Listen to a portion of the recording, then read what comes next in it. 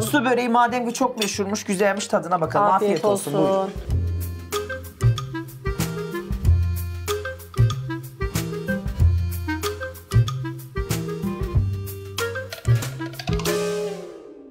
Tadına baktın mı Dilek hepsini? Nasıl buldun? Buyur alalım yorumunu. Enes abla bunu fırında pişirmiş büyük bir ihtimal. Evet. Neden ocağın üstünde değil? Ben fır- yani çocukluğumuzdan beri biz fırına Sence o yüzden. ocağın üstünde pişirilse daha güzel olmaz mıydı? Ocağın üstünde daha hamur olurdu.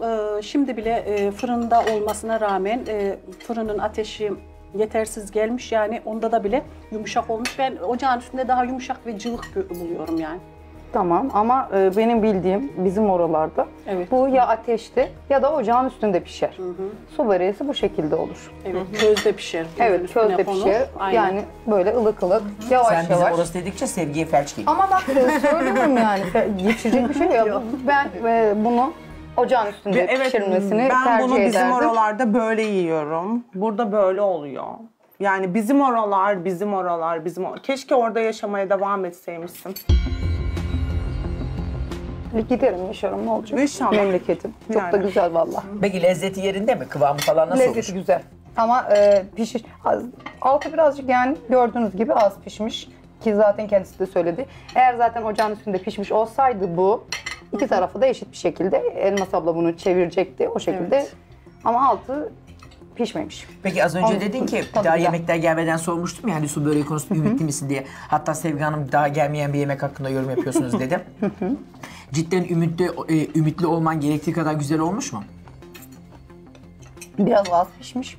Onun dışında bir problem Yani beklentini karşıladı mı? Yani lezzet olarak su böreği lezzeti var mı? Su Evet. böreği. Su böreği yani bu. Bu böyle lezzeti Ha, var, var. ama Hı. ben dediğim gibi bunu e, yani ocağın üstünde pişmesini tercih Ya- ederdim. Peki kuru cacık için ne diyorsun? Yani kuru cacık yani cacık. Ne olabilir ki mi? Evet. Yani bence benim yaptığım daha şeydi. Zordu. Yani ezme daha zor. Bu neye hemen salatalığı doğra tamam hadi hayırlı işler. Benim de e, kuru cacığım e, kolay, su böreğim zor. Senin de piden e, kolaydı, e, ezmen zordu. İşte böyle dengeliyoruz. Bir zor, bir kolay. Ellerinize Tabağımızı sağlık Es dolduruyoruz. Elmas Hanım. Afiyet olsun. Peki Dilek Hanım afiyet olsun. Evet Rukiye'den devam etmek istiyorum çünkü Dilek Hanım beğendikçe Rukiye fenalık geldi. Ne oldu Rukiye? Yani su böreği olmamış. Su Olmamış. böreği tadı yok. Bir su Ee, böreği gibi değil. kıyma tadı çok var. Kıyma Kıymalı çok. ya, o yüzden Aa, olabilir. İlginç.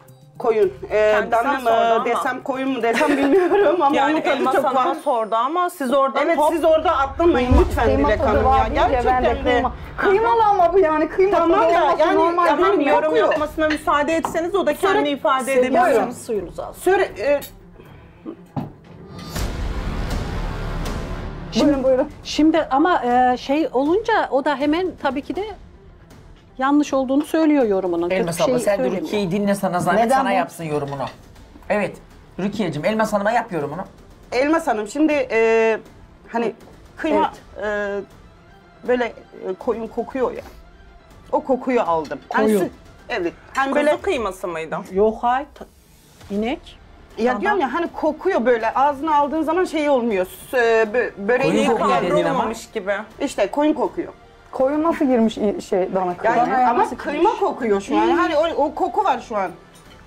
Ben gerçekten Kıyması Evet. filan. Sizin oralarda Yok ben böyle Elmas oluyor. Hanım'a değil de Dilek Hanım'a soruyorum. Buyurun Dilek Kıymayı Hanım. Siz filan tam masa kıvamında- yarışmacısınız ya buyurun. Kız kıymayı falan tam kıvamında ben yarı çiğ falan soğanını eklemedim. Kavura kavura ekledim soğanını Elinize falan. sağlık. Dün Elinize masadan sağlık. kat ve kat iyiydi. Bunu dobra dobra söyleyebilirim. Dün ben aç kalktım. Onu da bir söyleyeyim. şey söyleyeceğim. Aç anlamadan- denildi. Ben tabakları gayet güzel hatırlıyorum. Hepsi de yenilip bitmişti. Çorbasından tut yemeği. Nasıl oluyor bu? Nasıl aç kalktılar? Hepsi bitti. Özellikle ona baktım. Herkesin yemeği bitmişti. Hemen e, şey yapabiliriz yani bunu teyit ederiz yani. Ee, yok Teyit ben et. patlıcan ucundan azıcık almıştım. Ben Pilavdan iki çorbayı çatal. yiyemedim bile. Bir kaşık aldım onu da ikinciyi Ya tabağı silip alamadım. süpürmedik. Ben e, bütün Çok özür yemeklerin dilerim. yenildiğini Bunları yine hatırlıyorum. e, Elmas Hanım mutfakta servis yaparken konuşuruz dünle alakalı da. Şimdi e, Rukiye koyun tadı alıyorum dedi dana kıymasından. Bu bir. Su böreği su böreği gibi olmamış dedi. Bu iki bunlara cevabın ne? Ben su böreği tadı alamıyorum. Allah Allah. Senin köyünde su böreği nasıl yapılır? Yani sizin memlekette nasıl yapılır da biz suyun içine buna, haşladık e, yaptık işte. Kulakları çınlasın benim halam çok güzel yapar.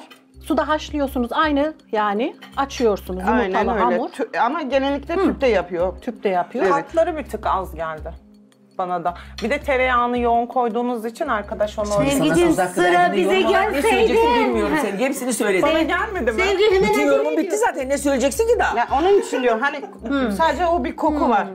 Hani su böreğin e, tadı yok. Asla asla kabul edemem böyle bir şey. E, bunda tereyağı da yok. Ondan sonra koyun kıyması da yok. Yok oğlu yok. Senin saydığın hiçbir şey yok. Ama Yufkaları ben pişmiş mi? Yufkalar güzel olmuş. Yani açılması, pişmesi, kızarması. Hepsi güzel olmuş. Tamam. İyi, afiyet olsun. Ama su Ama böreği işte- tadı yok diyorsun. Aynen öyle. Saman gibi bir şey mi yiyorsun şu an? Ne yiyorsun yani? Ya vallahi yiyemedim bakar, Yediğin, bakarsan yediğine yiyemedim. ne anlam verdin? Azıcık aldım o koku gelince bıraktım. Koku. Evet ağzıma o tat gelince bıraktım. Peki kuru cacık nasıl olmuş? Süper. Süper. Afiyet Süper. olsun. Onu e, ona bir şey demiyorum. Peki Sevgi Hanım'a katılıyor musun? Dün dedi ki bugün, dün aç kalmıştım. Bugün dedi en azından biraz doydum. Aynen öyle. Dün aç kaldın mı cidden? Yok ben aç kalmadım da. Er- Bazı arkadaşlarımız aç kalmış ama ben aç kalmadım. Ee, ben sadece çorbayı fazla içemedim Ee, ama şeyi yedim, patlıcanı yedim. Tabakların hepsi bitmişti ben. Aa, öyle Masanın hatırlıyorum masanın yani. gidişatından e, İnan ki ben bu iki masada doyulacak pilav gibi görünüyor yedim. Kadir. Peki Can Hanım'dan devam edelim. Can Hanımcığım su böreğinden su böreği tadı alıyor musunuz? Su böreğinden su böreği tadı almıyorum. Çünkü şey katları az. Ee, ben bir de tereyağlı severim su böreğini. Yani bizim şimdi diyecek Sevgi Hanım bizim oralar bizim oralar tereyağlı yapar su böreğini. Yani sizin bizim orası değil de orijinalini konuşalım. Su Aynen. böreğinin orijinalinde var mı tereyağı? tereyağı vardır ya. Şimdi- Her yerde vardır. Su böreğinin içine et suyu da koyarsınız. özür dilerim. Ne oldu Rukiye? Yok canım. Az bir lavaboya gidebilirim. Niye? Rahatsız mı oldun? Ne oldu? Bir şey mi dokundu yoksa Yok, sinirlendin şey mi? Sinirlendim sadece. Gel gel gitme gitme. Niye sinirlendin? Söyle burada söyle. Ya sürekli Dilek Hanım her şeye atlıyor. Sürekli hani En sevdiği memleketi... şey çünkü. Bir Sevgi Hanım bir müdahale etmeyin. Bir Yani sürekli her şeyi atlıyor. Hani ben e, yok e, memlekette bunu yemedik. Yok işte nasıl şey yapabiliyorsun. Ben burada Elmas Hanım'a soruyorum. Dilek Hanım atlıyor. Ama siz e, su böreğinde Farkındaysanız kıymasında e, dana kıyması olmasına rağmen dediniz ki koyun. Evet kum kokuyor. Yani Evet, bana evet, öyle tamam. geldi. Sen öyle misin? niye elin ayağın titriyor? Tereyağı, Bir ellerini açıp açıp sıkıp sıkıp bırakıyorsun. Ne oldu? Yani işte tereyağı ona biraz tadı şey aldım oldum. dediniz. Tereyağı yok bunun içinde.